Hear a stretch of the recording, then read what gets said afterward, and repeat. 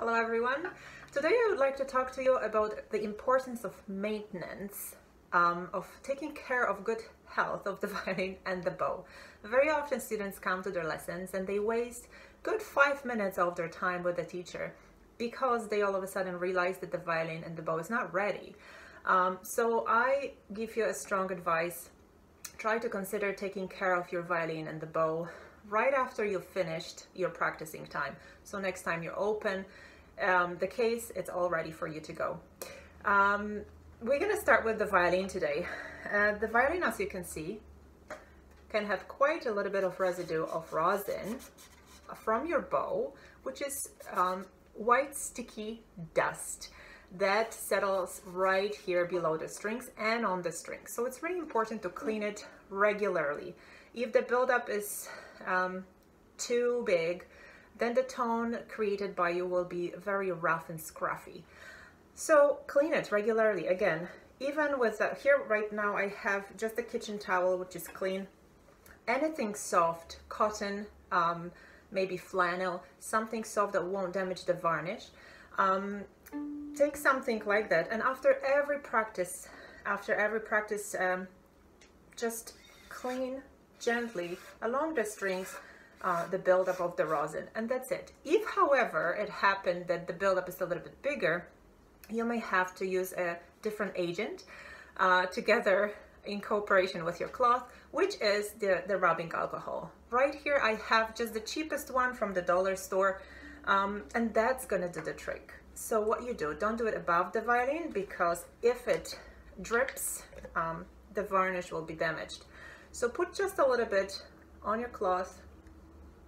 You can also purchase, I believe in a dollar store, separate packets of um, um, tiny fabric um, um, with alcohol in it and it's way easier it's not too much it's definitely not going to drip and it's perfect size and amount just to clean the strings between be, between um, your lessons so now once it's slightly damp you move it along every string and you will see that the buildup comes right off.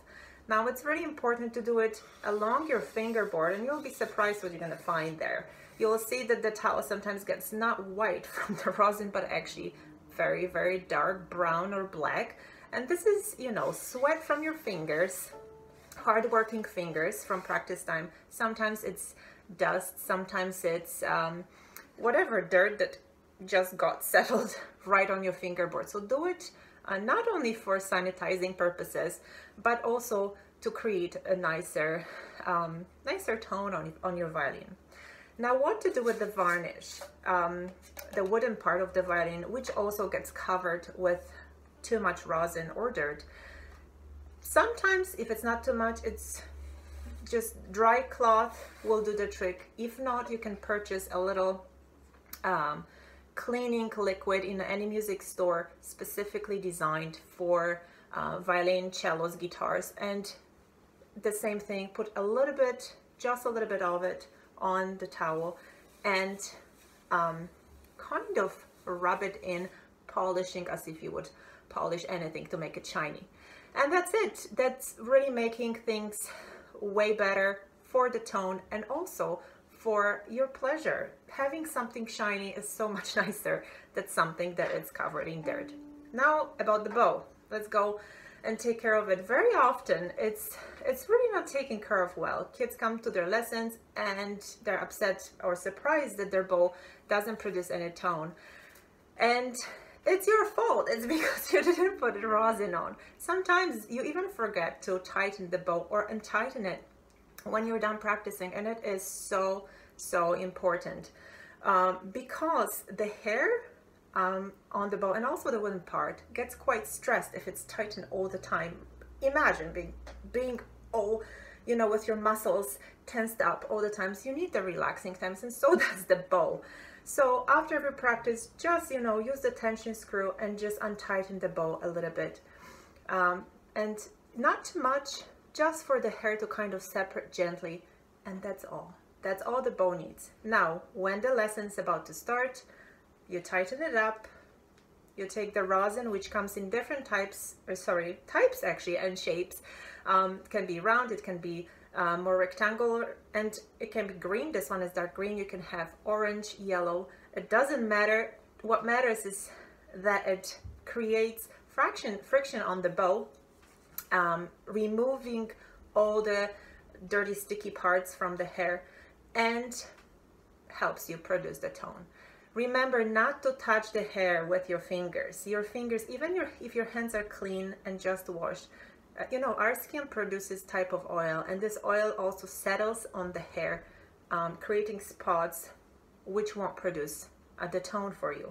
So take the rosin and try to get even movements. Focus often on the tip part and the frog, the one close to the frog. They're also, you know, often forgotten. And then just repeat this movement over and over. Don't put too much because then if it's too much, you will be creating the cloud of dust every time you make a stroke with your bow. So don't put too much, but I would say before every practice, just put a few strokes of it um, up and down from the frog to the tip and it's gonna create beautiful tone afterwards.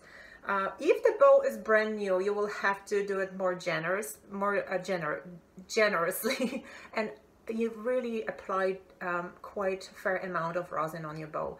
Um, and that's all. After the practice, again, release the tension of the hair and you're good to go. So please take care um, of your instrument. This belongs to you for now and this is something that you have to take care of, be responsible and do the best, um, you know, really appreciating the time that you have with your teacher, especially if your lessons are short. Um, you may be having online lessons right now. Do it before the lesson so you're ready to go and you don't, don't waste any time. So hope to see you soon. Bye bye.